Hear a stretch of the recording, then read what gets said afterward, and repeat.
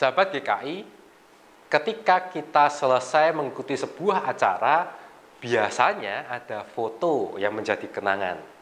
Dan ketika kita melihat foto dan di situ kita berfoto bersama dengan banyak orang, siapa yang kita lihat pertama kali?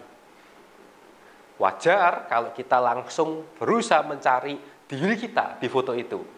Itu adalah salah satu contoh sederhana tentang sikap manusia yang selalu ingin berfokus pada diri sendiri. Terlebih lagi dengan kecanggihan teknologi sekarang, banyak gadget yang menawarkan selfie dengan hasil yang maksimal. Selfie yang bahkan justru menampilkan banyak kepalsuan karena kecanggihan teknologi mengubah tampilan wajah kita.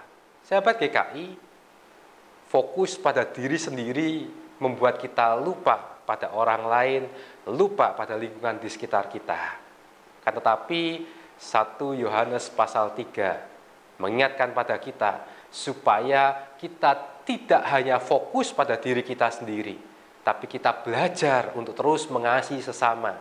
Karena kita sudah menerima anugerah keselamatan di dalam Yesus. Kita sudah bebas dari maut. Kalau kita masih hanya berfokus pada diri sendiri, bahkan membenci sesama kita, berarti kita masih hidup di dalam maut. Oleh karena itu, mari sebagai orang yang sudah menerima anugerah di dalam Yesus Kristus, pancarkanlah kasih itu kepada sesama. Karena di dalam hidup ini tidak hanya ada aku di antara kita, tetapi ada kamu, ada orang-orang lain.